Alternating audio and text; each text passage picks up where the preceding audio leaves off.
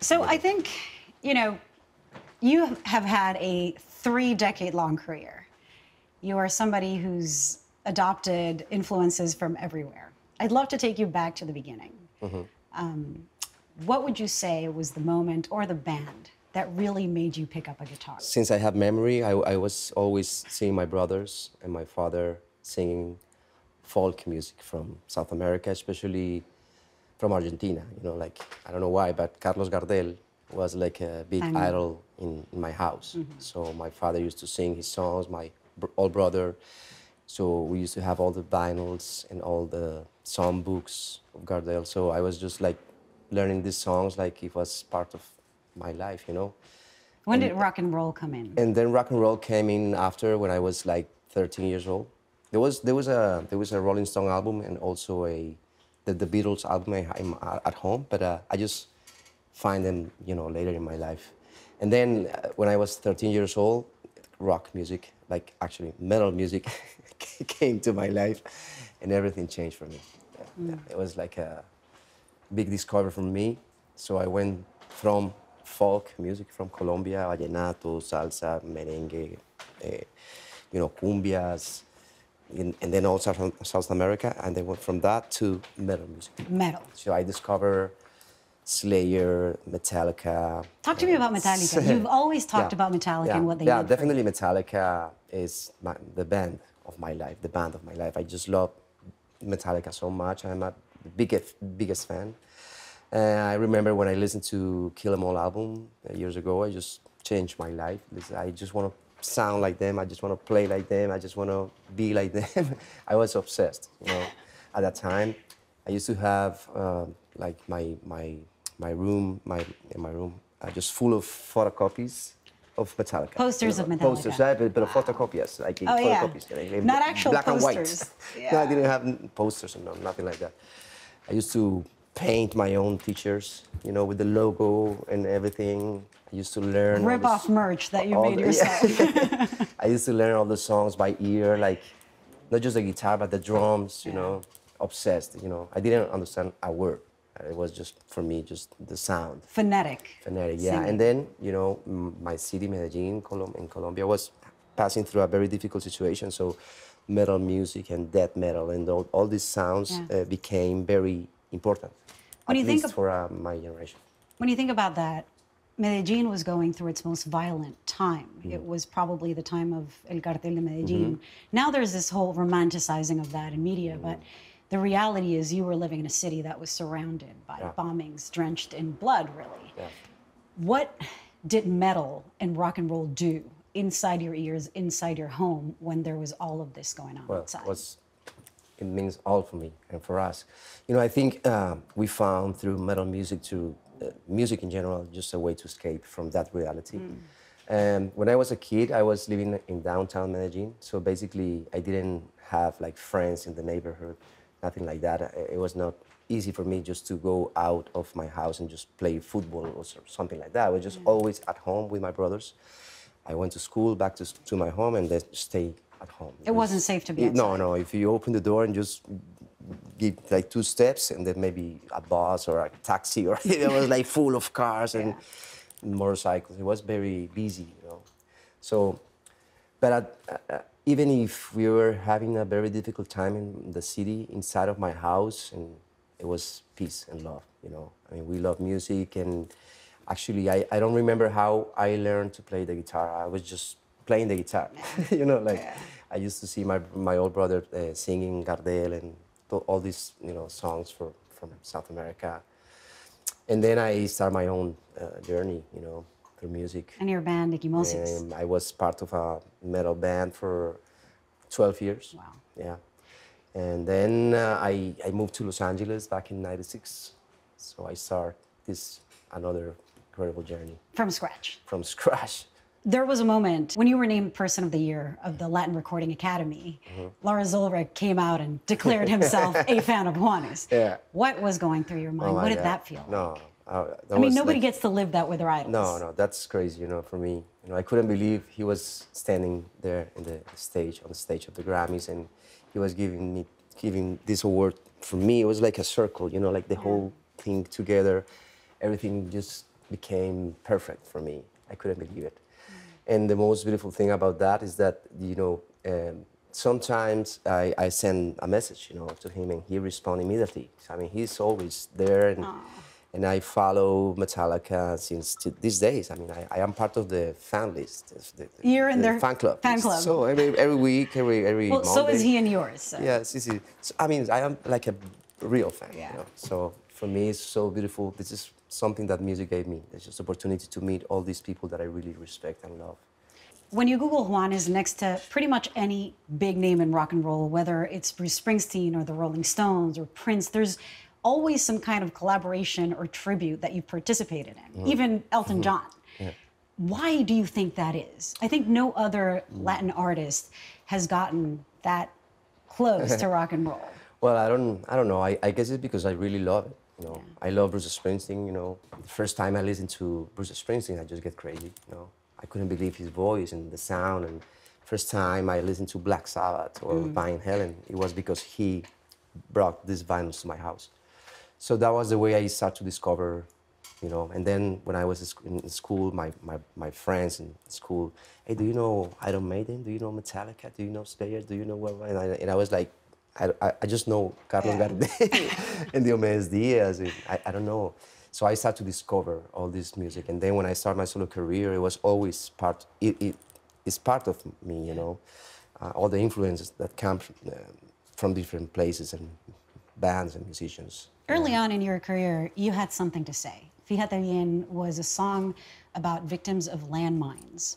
That's not something you were hearing in pop music at the time. Hmm. It was a time that everybody was crossing over and speaking hmm. English and singing in English. What was it like to have that much to say and that much success so early on? Mm-hmm. Because each one of the albums was more You know, successful than the one before. It's having like a learning process, to be honest. You know, at the beginning, uh, I mean, actually, that's the way I, I think and I see music. You know, for me, it's not just about relationships and, and, and love. You know, love is a very big concept, and pain is part, and death is, is part, and war is everything is part of this mission we have to learn here.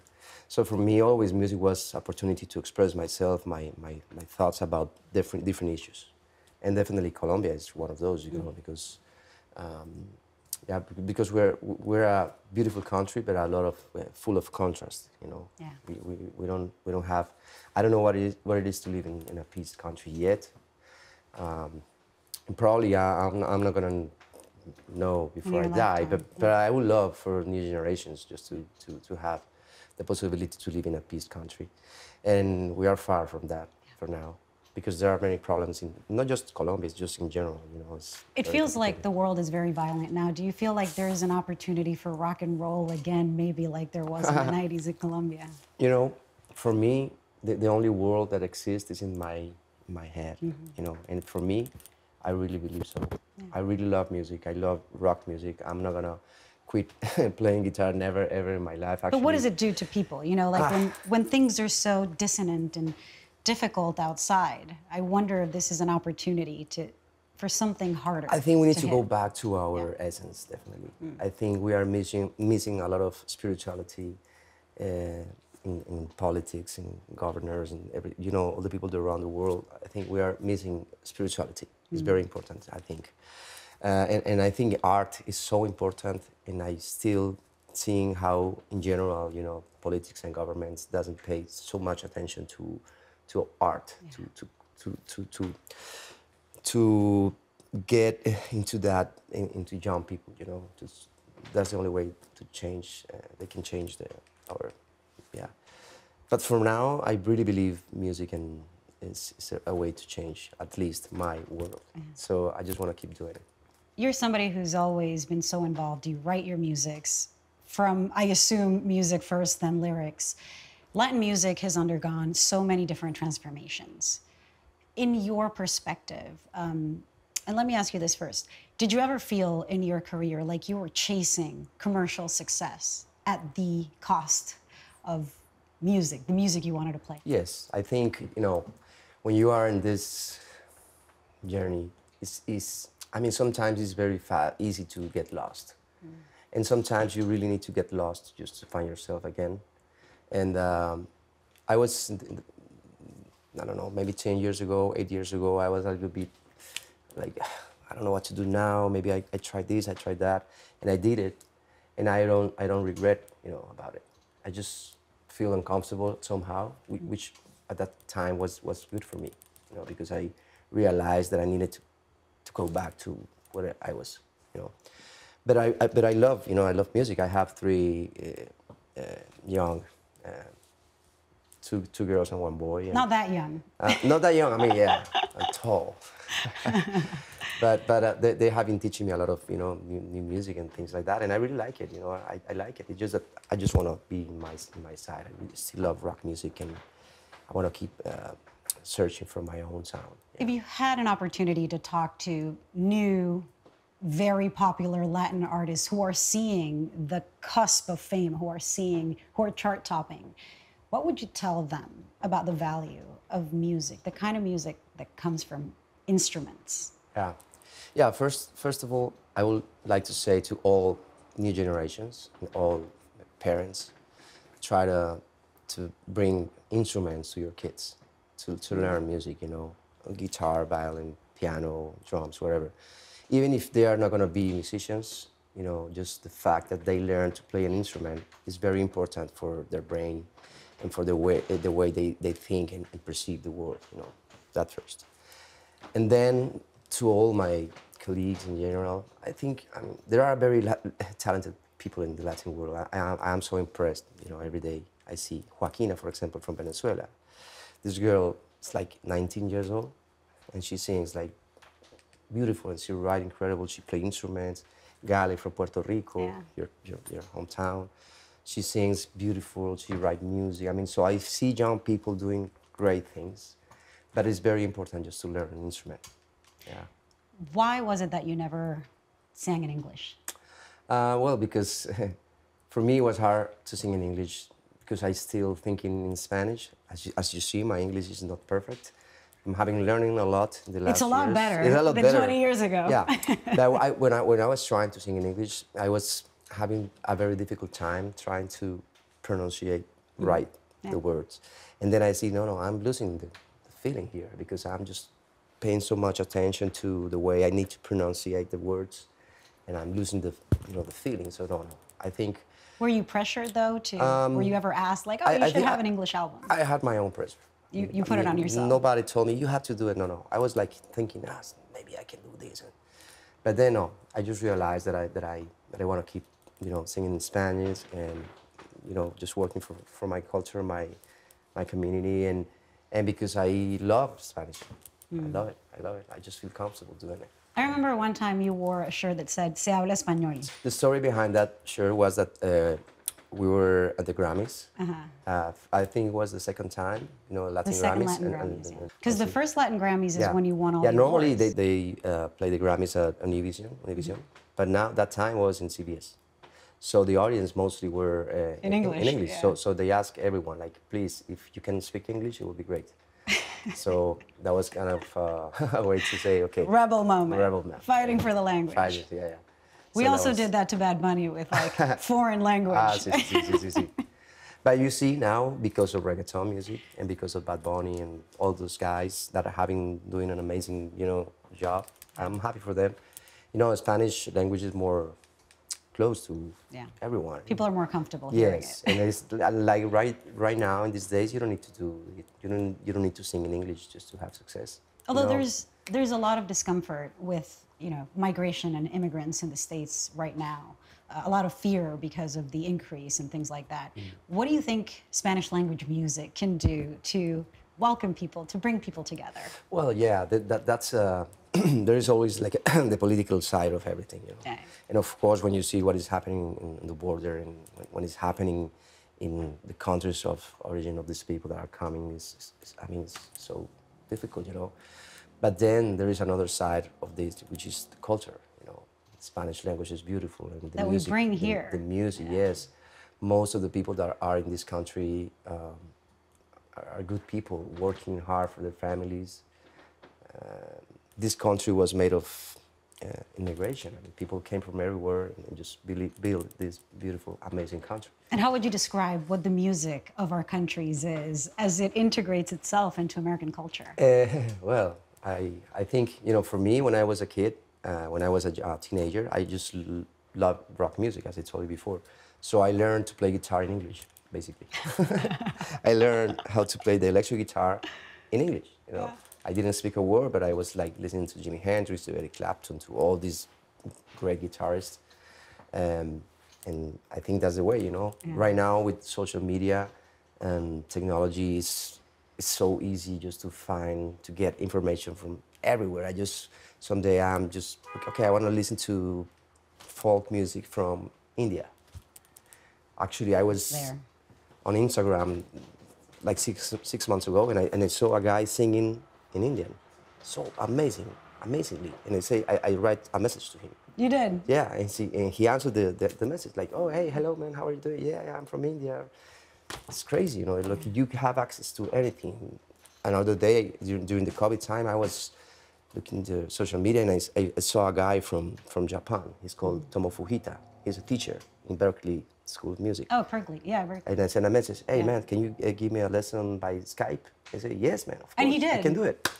okay. Was he surprised? Did he know you? Um, I was surprised that he answered the. You were surprised. yeah. Yeah. And then he probably searched you and he was like, oh my God. and then, and, eh, eh, I mean, actually, we, we became friends, Yeah. and he's coming to my to my show today. Oh, We're going to perform together. Ah. yes, because he's actually See? yeah my teacher the last year. So that's Yeah, the way music integrate each Brings other. people together, because yeah. because now it's easier just to connect. I remember seeing, hearing you talk about interviews, uh, in interviews about your admiration for people like Prince, and you got to play Oh in one of his tributes when he died. I also remember I was covering a concert of yours in Los Angeles, Yes. and everybody ended up at Prince's house. you ended up yes, playing with yes, him. Yes, yes, yes. Was that one of the highlights? Oh my of, God. Tell me about Yes, that yes. experience. That wa- it was the highlight that was of my life. the most weird thing ever for me because I was like, so I couldn't believe it. You know, I, I am in the prince's house. and He's just playing with his band. Yeah. And and and then he looked to me and said, "Come on, come on and, and Yeah. play with me." So I played for a little while. I mean, I was just so nervous. You know, I was like, I couldn't believe it. I remember But it was beautiful. He was he was very cool and and those moments in my life. Another time I was in Washington and I performed with uh, Steve Vai. Okay, Steve Vai. You know. I was doing a version of Hotel California. Yeah. He was playing the electric guitar. Wow.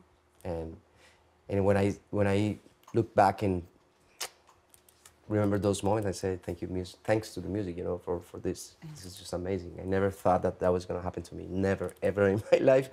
I came to in New York basically um, in, in 2000, 1996. Yeah, I remember. The first time. Yeah, I used to wear a jacket. I had a little money here, and I was just walking on the streets. I didn't have anything, you know. I was just like afraid of, of this country, of this language, of this culture, but I wanted to make it. So I remember those days, and then yesterday, you know, I was there, the Radio Ci- City Music Hall. Yeah, what does that mean to you? I mean, you've So- been everywhere. so you've sang for the Pope. You've sang at the at the Nobel Peace Prize uh, Yeah. ceremony. You've So- been everywhere. De- definitely but this still means something to Oh my God, it means more than before, definitely, Why? you know. Because now I am enjoying more the process. I am enjoying myself singing and performing because before maybe I was not ready or before I was not, you know, What did that being do? conscious about what is what happening to me. I was just like living the moment. What's the cost of not being ready? Um, you know, I, I- I think it's just part of, of, of the process of, uh, you know, grow, growing. You know, Maturing. somehow. Yeah, mature. Growing some gray hair. Yeah, you, yeah, you, you make mistakes, but I don't regret either. You know, I Mm. say, okay, maybe I need to do that just to be here.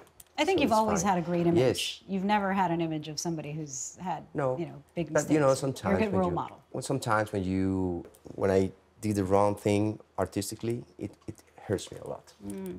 You know, because I compromise something that is very uh, important for me.